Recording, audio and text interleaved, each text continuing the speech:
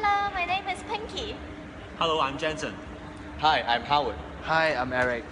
And now we're introducing you to Hong Kong from a local's perspective.